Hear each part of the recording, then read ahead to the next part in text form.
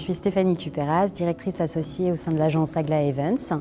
Nous sommes une agence spécialisée dans l'organisation d'événements recrutement. Nous organisons euh, des événements euh, tels que le Village des recruteurs, qui est un événement multisectoriel qu'on euh, déploie sur l'ensemble du territoire national. Et nous allons lancer deux nouveaux concepts en 2020 qui sont le Lab des recruteurs et l'Afterwork des recruteurs. Alors on cherche effectivement à renforcer notre équipe commerciale, notamment avec un poste de business developer. Et en parallèle, on ouvre également un poste de community manager. En rejoignant Aglaé, euh, tu vas rejoindre une, euh, start-up en fait, qui est en plein développement où euh, tu vas intégrer une équipe qui va te faire confiance, qui va te challenger, où tu vas être autonome, où tu vas être force de proposition et tu vas vivre l'ambiance start-up.